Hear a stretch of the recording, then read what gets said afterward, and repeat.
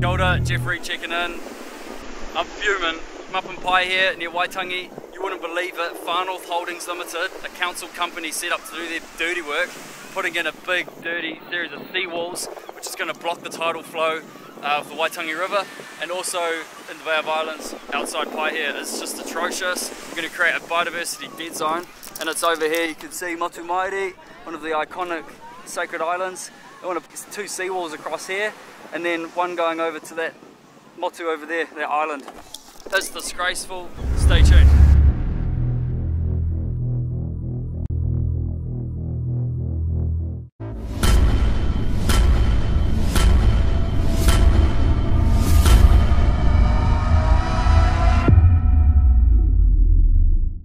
Got Marg from Ngati Kawa here. Marg. Marg's been spearheading the petition. She's had a huge amount of support from the local area to stop this project, but Far North Holdings just won't give up yet. Marg, what do you make of all this? It's crazy. you have to be mad. Out of your mind. Far North Holdings claim on their website that the $13 million of taxpayers' money, your money, has been spent with public interest in mind to protect waterfront infrastructure. Is this true or is this a back scratching exercise because insurance companies no longer want to cover waterfront real estate like they have been with climate change? Or are they after a marina? Who knows?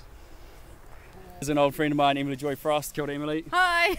Emily's from uh, AUT, she's a marine biologist, and hopefully she's going to help us uh, yeah, go a little bit deeper and understand this issue a bit more. The Paihia Seawalls project is completely unnecessary and should be thrown out immediately. There are other ways that we are able to restore the beach um, other than just dredging and seawalls. Obviously we're in the situation with losing the sand from the beach from dredging to start with.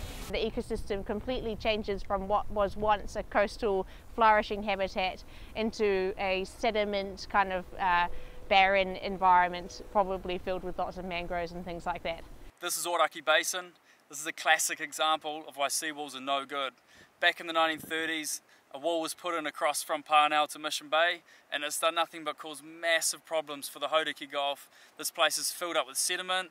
It used to be full of filter feeding shellfish like pipis and cockles. Now it's a muddy mess. When are we going to start viewing our environment and remember that we're, we're a community, a part of it, rather than just seeing it as some commodity for us to exploit. Kia ora, kia ora. Hey Coots, uh, tell me about Far North Holdings Limited, like, you know, what kind of an outfit is this? Far North Holdings is a disease. They're a COVID. Yeah. They go around and they, they, they, they take property, land, whenua, and they sell it. Teti also has a long history of peaceful protest. Today it was by a group occupying land set for private development in the Bay of Islands town Opua. Chairman for Far North Holdings, Andy Nock. Hi, I'm Andy Nock, Far North Holdings, Chief Executive. Beware of that man. He's the one who uh, runs that, that, that organisation.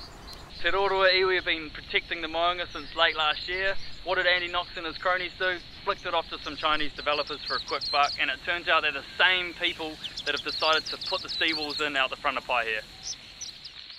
What do you think about them putting the seawall in over behind you? Don't like it. They should just leave it alone. They put their seawalls in, in their office. Put it there. This raises the question is what we want as New Zealanders for the Bay of Islands. Do we want a coastal flourishing ecosystem that we can pass on to the next generation? Or do we want a uh, silty sediment mangrove ecosystem?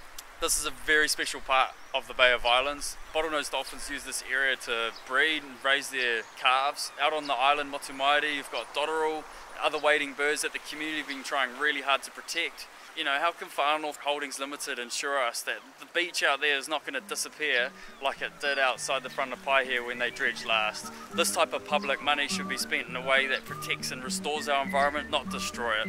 Sign the petition. If you can, give it a share, like, drop a comment. It all helps. Ka.